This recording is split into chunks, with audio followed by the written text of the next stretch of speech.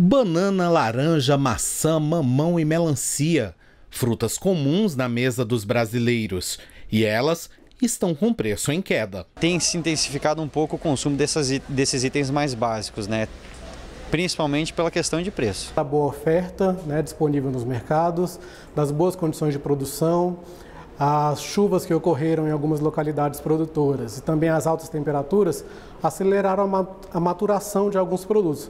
Por conta disso, os produtores são obrigados a colher e disponibilizar no mercado. A boa safra tem facilitado um aumento da oferta de frutas nos últimos meses e a tendência de queda nos preços deve seguir no próximo trimestre. E não é só no mercado atacadista que o valor das frutas teve baixa. De acordo com a Conab, o consumidor final também sente no bolso essa queda. A crise de demanda que existia por conta de uma crise econômica é, fez com que os preços caíssem repentinamente né, e de forma generalizada.